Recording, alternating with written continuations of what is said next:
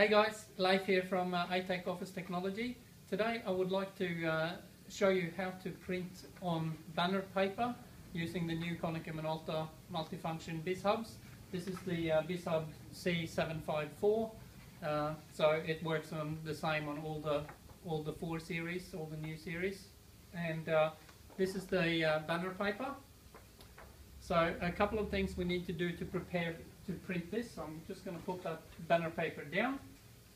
And if you come a bit closer, the first thing we need to do is to go on the uh, utility screen.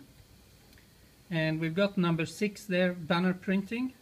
So I'm going to press that one and I'm going to select allow and OK. And that basically uh, puts the uh, printer into banning, banner printing mode if you like. So the message is there now that it's uh, waiting for the banner print job to come through. So we're now ready to start preparing the banner.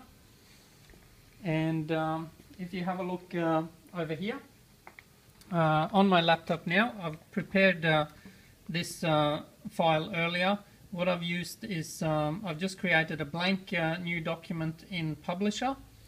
And the important thing to note there is that when I create that blank document, I go into the page design and I set the uh, page setup size. And the size of this document is in centimeters. It need, needs to be 102 centimeters by 29.7 centimeters. So I set that up in there hit OK. You can actually download a um, publisher template banner template from our website as well if you find that easier. So that's just a blank uh, template. Uh, then I've uh, put on the images or whatever to design the banner. And once we're ready to print that we'll go to file and print. And we'll go into the uh, printer properties. And the important bit to note here for printing banner is that you see this original size here it normally defaults to A4 or whatever your normal size is. You got to scroll down to the bottom here and you got to select custom size. So I'll select custom size there and uh, here we need to reflect the same the size of the banner. So I've typed in I've got it in millimeters here and uh, I'll put in 297 millimeters wide by 1020 in length so type that in there hit OK and uh, we're basically ready to print so I'm going to hit OK on there and go into my print preview. Just one note on there, if you if the preview doesn't look right, make sure that you've got this setting here where it says one page per sheet. Sometimes that would be set as tiled, but select one page per sheet.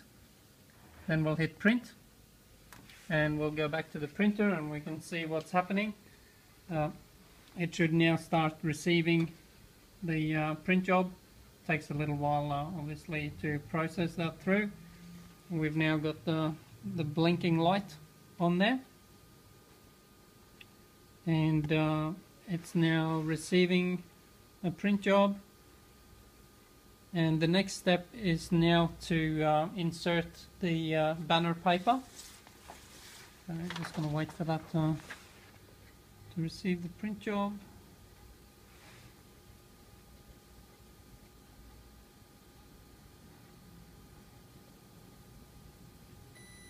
There we go. It now says to load paper into the bypass tray. So I've got my banner paper over here.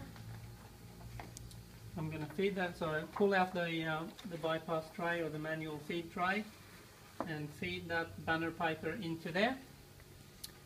This complete button lights up so I'm going to press complete. And we're now starting to print the banner paper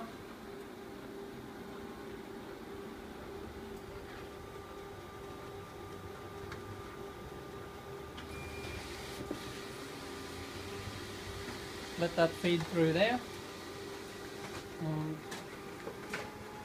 let's see what comes out